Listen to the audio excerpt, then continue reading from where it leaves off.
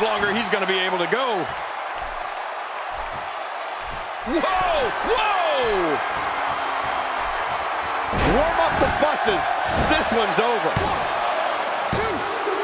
Jerry the King Lawler, you mentioned the Oh my God, I don't believe it! We have a new champion!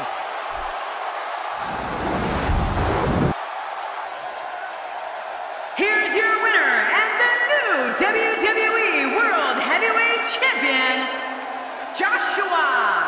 Oh my gosh, new champion. And will things in the WWE ever be the same again? You're right, I think the entire landscape of the WWE just changed. But let's not forget, we have a new champion. What a match. And a quick thank you to everybody for spending part of their Christmas with us here at the WWE.